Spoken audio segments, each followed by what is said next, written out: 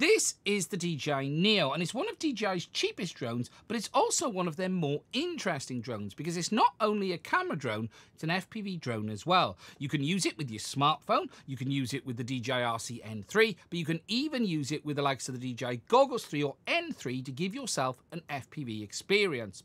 Now, it certainly wasn't the best at any of those things, but what it did offer was a lot of functionality in a low price. Now, DJI are about to replace this, and there is a new version called the Neo 2 coming. And whilst that in itself is quite exciting, there's some rather interesting things happening with the Neo 2 that we've been able to see from the FCC filings that have released in the last few days. And today, I'm going to explain what that is all about. Now, the FCC filings tend to be a bit of a view into the future of what is going to come from a manufacturer. And whilst they can hide this information, sometimes stuff does make its way out. And whilst it's not going to tell you absolutely everything, it certainly can be rather interesting if you know what to look for. Now, yesterday, DJI added the Neo 2 to the FCC file list. It's going to have a model number of DEN 225. And whilst this isn't particularly surprising because there has been leaks, what is a bit of a surprise has been what's added alongside it, and that is something called the DJI Neo 2 digital transceiver. Now, looking through the documentation for both of these products, there isn't any images and there isn't even an image of the FCC ID. However, we do have all of the RF testing information. Now, the RF information is split across multiple documents, and what's actually very interesting here isn't what it does say, but is actually what it doesn't say. And what I mean by that is the original Neo from DJI worked across multiple different communication methods. You could connect to the Neo with your smartphone via Wi Fi, and you could use it with OcuSync. The original Neo had both Wi Fi and OcuSync built in as standard. However, looking at the reports from DJI, it seems that they're going to be doing things a little bit differently with the Neo 2. For instance, we can see that the Neo 2 does support Wi-Fi like the Neo 1. It supports 5 GHz Wi-Fi on 802.11a, NAC as well as AX. We also have testing information for Wi-Fi on 2.4 gigs, supporting 802.11b, GN and AX. Then there is support for GFSK. This is the communication protocol that DJI use with the RC motion controller or the FPV remote version 3. This isn't the same communication protocol that the likes of the RC-N3 uses. This uses OcuSync. That is specifically for the motion controller and the FPV Remote 3. Now at this point we'd usually be moving on to talk about support for OcuSync because that is what happened with the original Neo. Not only did it have Wi-Fi, it had O4 as well. However, that doesn't appear to be the case with the Neo 2 and in fact that is all of the RF testing information that there is, and this information implies that the Neo 2 as standard only supports Wi-Fi or GFSK, which means you'll be able to connect it to your smartphone. You would likely be able to use it with the RC Motion or the FPV Remote version 3, but you would not be able to use it with the RC N3 or use it with the standard OcuSync system, including using it with your DJI FPV Goggles 3. Now, I'll be honest with you, at this point I was rather confused because I was looking through this documentation and then we also had, as I stated earlier, this DJI Neo 2 digital transceiver. Now, when I first saw this, I actually assumed that this was going to be like a new version of the O4 air unit, perhaps with the new camera that's inevitably going to come with the Neo 2.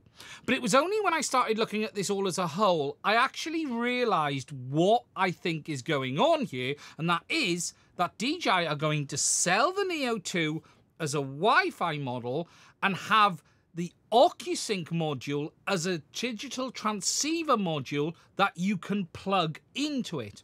Now, this is completely unheard of in the way DJI have done things with regards to OcuSync, whilst we have seen DJI actually release modules like their cellular modules, when it comes to OcuSync, these modules have always been built into the drones. The only product I can ever remember that it technically had a removable module was the DJI Cendence remote controller for the Inspire 2. Pretty much every other product that DJI have released used OcuSync as part of the main board, or at least built into the product. Now again, looking through the RF filings, we don't have any images, but we do have what I would expect to find in the main documentation for the DJI Neo or the Neo 2.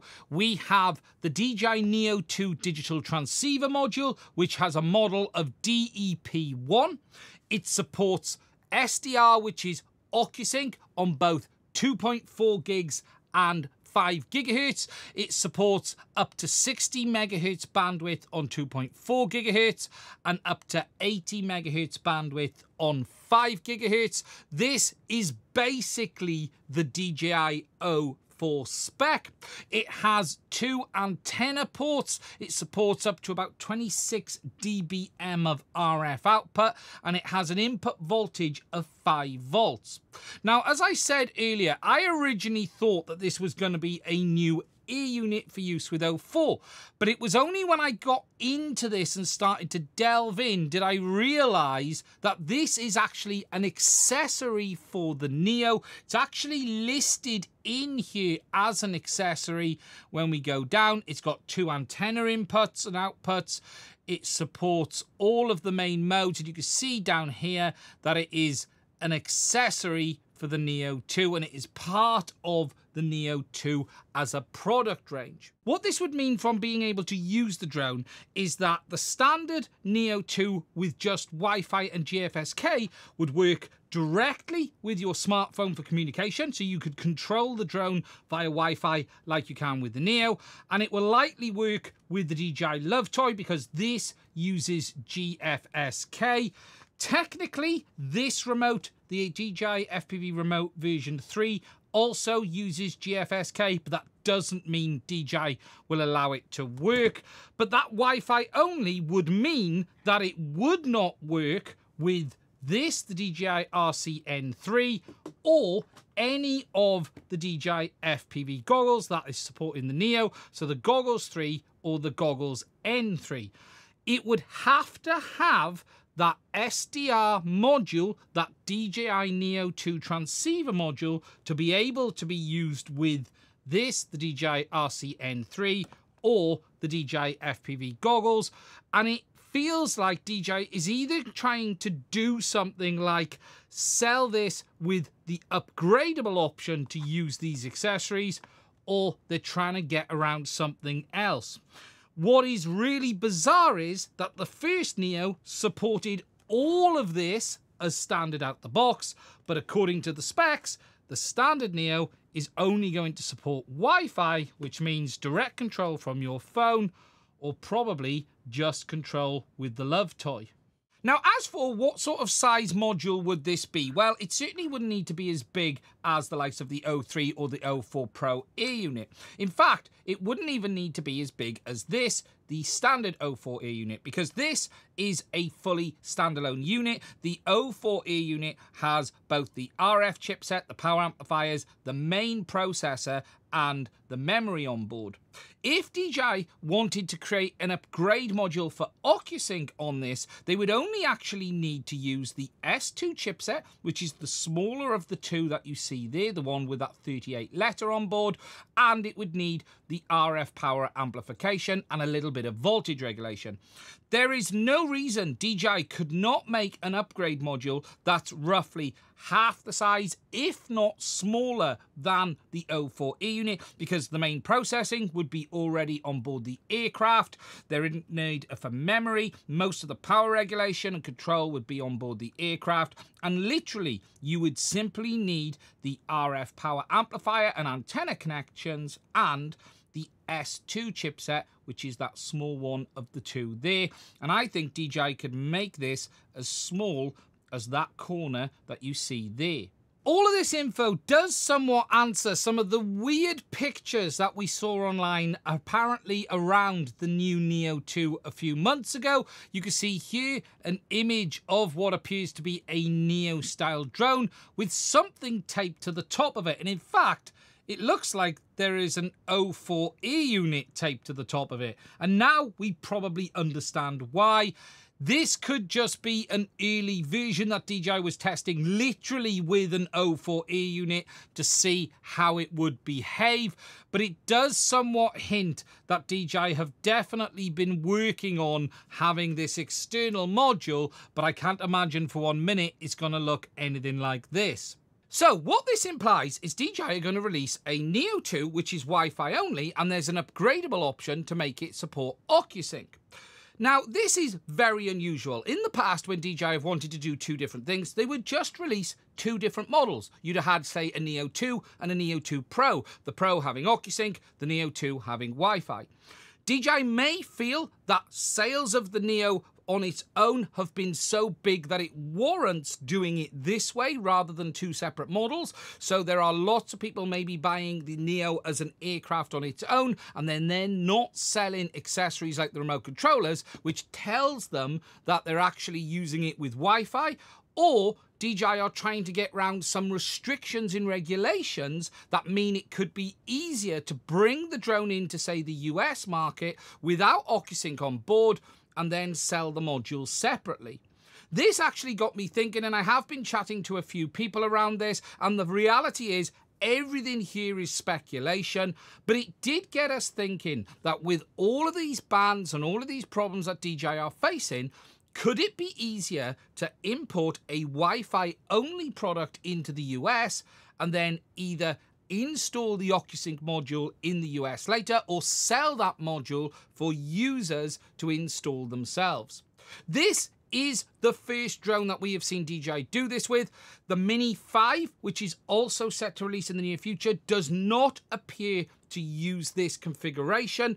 That would hint that this is more related to the Neo than it is compliance. But if we do see DJI start to do this more and more, it could be another way of them trying to get around the restrictions that they're facing. One conversation I have had with someone is that the potential FCC bans were related to the RF systems, and as a result of that, perhaps this is a way around it, but it is all speculation. But if we do start to see DJI do this on more and more of their models, it would give us a hint that this is some form of backdoor to try and get past some of the FCC issues that they've been facing in recent times. Regardless, in the end, what we have is a Neo 2 is coming. It's Wi-Fi as standard, upgradable to OcuSync. No new remote controllers, so it will likely work with the RCN3, the Love Toy 3, as well as the Goggles 3 and N3. There is no hints of new goggles. There is no hints of new remote controllers yet. So right now, it seems to be just the aircraft.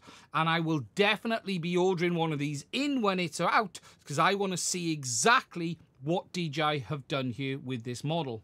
Now, other than that, there isn't much of the technical details in the documentation. The battery on the Neo 2 is a little bit bigger compared to the original one, but we don't have any info on things such as the camera, flight time, anything like that. This information is mostly for certification purposes, not out and out specifications.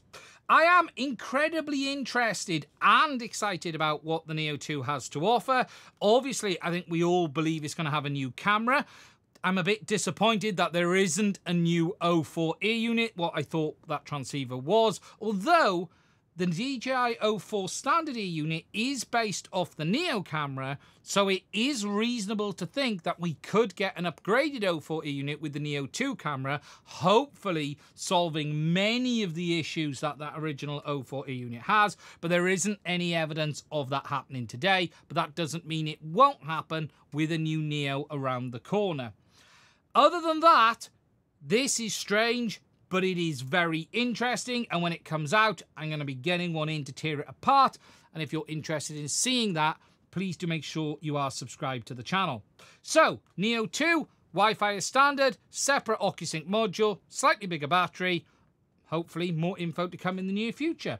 If you have found this video useful, please do consider check out the links to my Patreon as well as buy me a coffee. It is only through the support of my patrons I'm able to keep making content on this channel. And if you'd like to support us, please do consider checking it out. I want to say a huge thank you to all of my Patreons. We would not be able to keep doing this without your support. Anyway, that's it from me on this one. Stay safe. I will speak to you soon.